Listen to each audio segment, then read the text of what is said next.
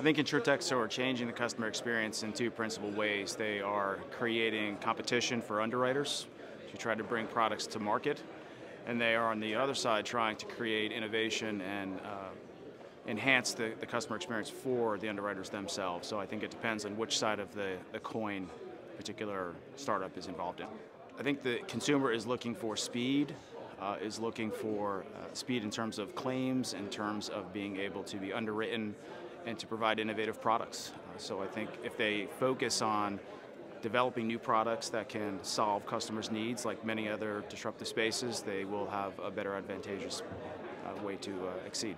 I think that depends on your perspective. From an underwriter's perspective, I think that the data is the key. It helps them to underwrite their product, to make sure that they are delivering a product that is solving a need and solving a problem.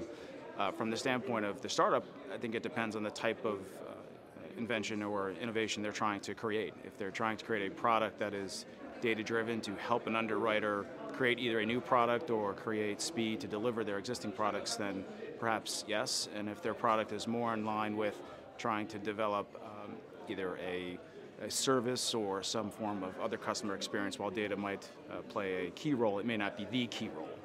So our firm is focused on uh, really three, three areas in the insurance space. One is to work with the underwriters themselves in the regulatory environment, which can be very complex, as we all know, uh, and to deliver that, that service in, in a global way.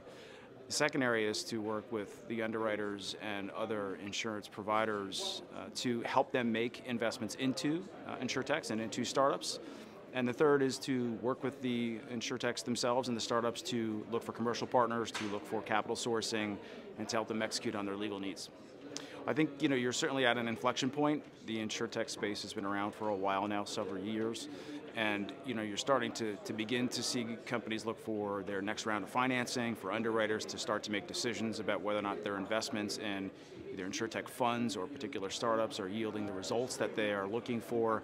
And as a result, I think you're at a point where we'll start to see some succeed, and uh, you know unfortunately some perhaps fail. And so at that point, I think the, the, industry itself is going to have to make a decision as to whether or not to move forward. I personally believe that they will, uh, and they will do so in a continued way. Um, but uh, I think you're at that inflection point, or beginning to see that inflection point. I think like many other events similar to this in other industries, they bring together uh, those different environments and those different uh, sectors of the space to, to collaborate, to understand what each uh, needs in terms of what their goals are. Uh, it certainly helps startups in terms of fundraising and, and, commercial enterprise.